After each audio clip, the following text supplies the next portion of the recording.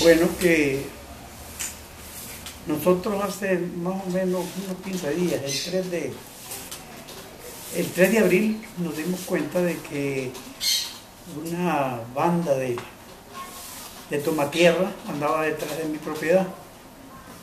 Entonces decidimos eh, visitar al comisionado Marvin Castro, eh, comisionado de Ginotega y le expusimos pues de que en realidad teníamos esas orientaciones, que habíamos percibido esas, eh, esas ideas de meterse a esa gente, ¿verdad? y que le alertábamos a él pues, porque nosotros eh, esa propiedad no se la debemos a nadie, yo no le debo a nadie, y que es una propiedad privada, que si en un caso se metía esa gente, que nosotros le pedíamos a él un apoyo para que nos sacaran entonces él dijo de que en realidad que su comandante Daniel Ortega había dicho de que no habían tomas de propiedades y que solo, solo esperáramos, porque él no se podía adelantar, solo esperáramos que se metieran para él mandar a sacar con la policía. Entonces nos exigió nos exigió ahí que hiciéramos esa denuncia que le estábamos haciendo por eh, verbalmente que le hiciéramos por escrito. Se hizo la denuncia y nos dio tres teléfonos él, por si en un caso se metían, que en cuanto se metieran, pues nos iba a dar resguardo policial. Pero el miércoles santo, ya eso de las cuatro a las cinco, cinco y media, llegó el poco de gente con mochilas, con machete, con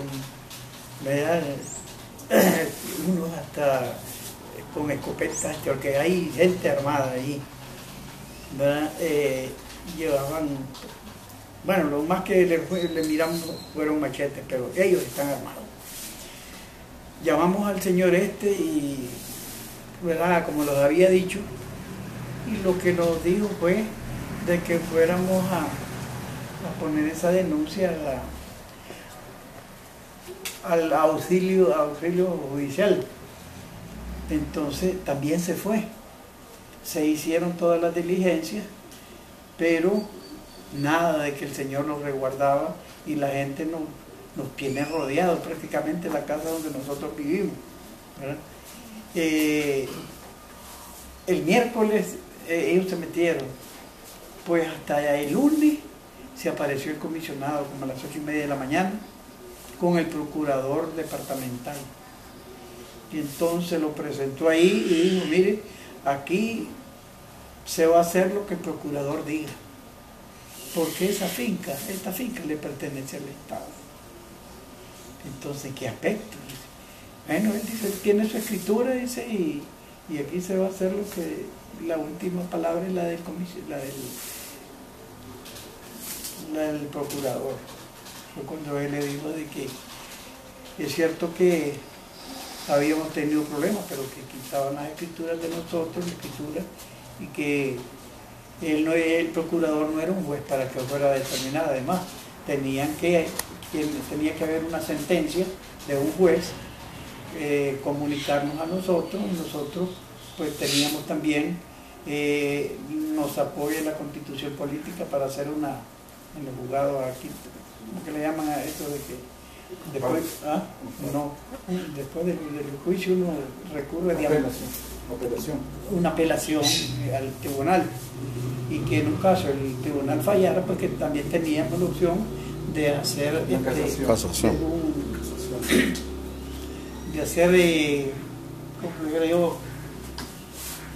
recurrir de casación a la Corte Suprema de Justicia pues entonces él dijo de que tenía denuncias de su misma gente que tiene ahí, porque prácticamente ellos son los que los tienen. Eh, nos dijo, miren, vos, vos, vos y vos tienen armas. Hombre, le digo, aquí nadie tiene armas más que yo.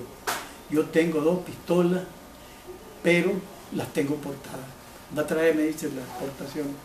Se la llevé, donde estaba sentado, y lo primero que hizo fue ocuparme las, portaciones y ocuparme las armas Pero creo que eso lo está haciendo ilegal porque yo no he incurrido en ningún delito.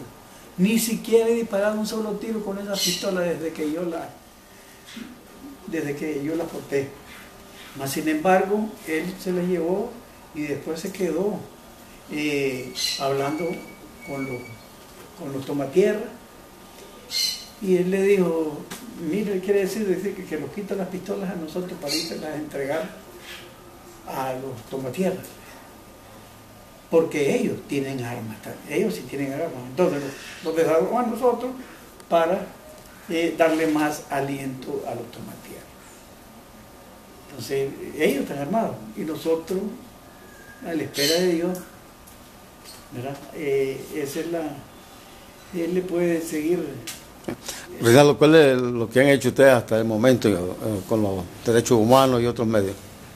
Bueno, nosotros hemos denunciado públicamente ante la CPDH eh, y los diferentes medios de comunicación nacionales en Managua desde el día de ayer y hoy. Eh, gracias a Dios, los medios independientes que han quedado nos han, cubierto muy de fondo toda esta situación porque es lamentable, don Celso, que a estas alturas, que aquí ya no hay guerra, que aquí hay democracia, que se supone que deberíamos estar fortaleciendo a los productores que generamos trabajo, lo que se está haciendo más bien es todo lo contrario con este tipo de actitud con este tipo de ilegalidades que están cometiendo.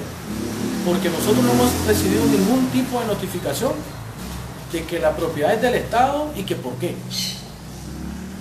Y yo les decía a los tomatierra, hombre, si supuestamente es del Estado, ¿por qué el Estado no se las ha venido a entregar de una manera correcta?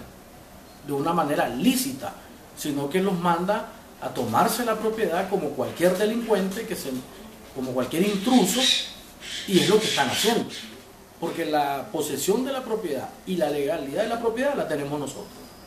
Y lo que hemos dicho eh, estos dos días y desde el comienzo es de que si ahí va a correr sangre, va a correr sangre porque es nuestra propiedad. ¿Y qué ha pasado con la gente que está dentro de la propiedad? ¿Están dentro o fuera, a la profundidad de la propiedad? Están dentro de la propiedad y nos tienen rodeados como una manera, o, prácticamente nos tienen secuestrados dentro de la casa que está en el centro de la propiedad. el día domingo, el domingo de resurrección, eh, esta gente nos llegó a provocar, eh, a sosar al punto que tuvimos en riesgo, hay que ver, 80 delincuentes armados con machete, pidiéndonos que nos saliéramos de la casa, seguramente para matarnos. Pero ¿cuál es el asidero de fondo de esta, de esta invasión? Eh, la información que hemos recabado a través de ellos mismos, cuando los abordamos al comienzo de una manera pacífica, ¿verdad? Porque el día siguiente por la mañana les dijimos, bueno, ¿y qué pasa? ¿Qué es lo que buscan ustedes aquí? Hombre, miren, porque son personas, la mayoría son conocidos del municipio y son retirados del ejército y del servicio militar. Incluso andan unos retirados de la policía, que los hemos visto de policía y ahora los veo ahí. Hay uno que se llama Eric, que hasta me ha amenazado de muerte. Pues no sé el apellido, no he podido recabar el apellido de este muchacho. El domingo me amenazó de muerte totalmente. Eh, lo que ellos aducen es que el secretario político del Frente Sandinista de Fantasma, Gonzalo Herrera, eh, estuvo haciendo reuniones con ellos para darle cumplimiento a los compromisos que tiene el, gobierno o, el, presidente Ortega con los miembros de, los retirados como partido, no sé cómo, eh, para entregarles tierra y cumplirle la demanda de tierra. Y que ellos tenían conocimiento y que Gonzalo les había comentado de que esa propiedad era del Estado y que se las iban a entregar, pero que era necesario que se metieran de esa manera. Pero hasta el momento, ¿qué respuesta han tenido de las autoridades? Ninguna. Ninguna. Eh, el procurador que se presentó, bueno, ya mi papá más o menos le explicó cómo se inició esto, el tipo de comunicación directa que tratamos de hacer con el jefe de la Policía Departamental de Ginotega, Marvin Castro, a quien desde ahora responsabilizo por cualquier cosa que pase, junto con el, con el secretario político de Pantano. Porque este señor Marvin Castro, en vez de dar resguardo, que es su deber como autoridad, como representante de esta entidad que está para resguardar la seguridad del nicaragüense, eh, es lo que menos ha hecho.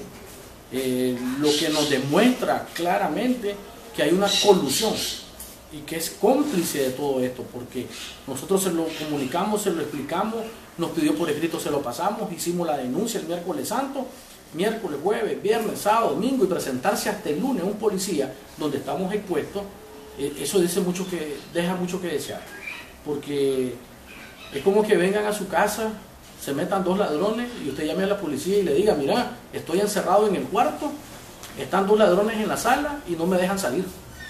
Y pasen seis días, siete días y la policía no llega.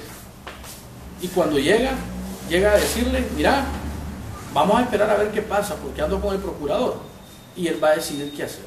El procurador no es juez. El procurador, porque ellos inventaron, posteriormente, o sea, hace un año inventaron, queriendo eh, anular o borrar los registros de la propiedad nuestra, aduciendo que había una deuda con el banco y lo demás, que nosotros tenemos la documentación donde está una sentencia firme, donde nos entregan las propiedades que estuvieron en manos del banco y que tenemos más de, a partir de ahí tenemos más de 12 años de tener la posesión de la propiedad. Eh, estoy hablando después de que el banco la tenía, ¿verdad? La propiedad tenemos más de 40 años de ser dueño. Sin embargo, eh, este señor, siendo el procurador, dice que, es de ellos. Me llegó preguntando porque cuáles eran los carriles y quiénes eran los linderos, que si tenía un plano de la finca, que, le mostrara las escrituras, si quien tendría que llegar a demostrarme con un documento firme era él, para notificarnos y decirnos, miren, esta propiedad está en estas condiciones. Entonces, ahí se demuestra claramente que, esto es, amañado. Es amañado, eh, es una confiscación, pareciera que están cambiando la forma de confiscar. Pero dejamos claro, no vamos a entregar esa propiedad, cueste lo que cueste, porque es de nosotros. Rinaldo, ¿y qué esperan ustedes de, las autoridades ahora que han hecho todo este recorrido por Managua? Bueno, de las autoridades del gobierno yo creo que no, este, no esperamos nada. Aquí esperamos de que los, eh, noticieros independientes eh, anuncien al pueblo lo que se nos está viniendo de nuevo como en los 90 cuando le confiscaron las tierras a los, a los productores cuando le quitaban, cuando lo cambiaron los billetes y están volviendo al tiempo cuando nosotros eh, fuimos, fuimos golpeados por ellos. Siguen ellos entonces buscando artimañas para quitarle las cosas al trabajador y dárselo a los sinvergüenzas. Eh, solo esperamos pues el apoyo de, todas las autoridades, la prensa, la radio, la televisión, eh, las organizaciones como derechos humanos, como